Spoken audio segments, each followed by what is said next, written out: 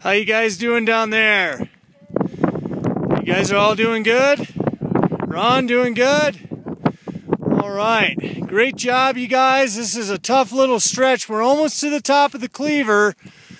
I tell you, the winds are not that bad. So they were forecasting really strong winds, but nothing to it. We got Mike Euchel back there with his team coming on up the cleaver.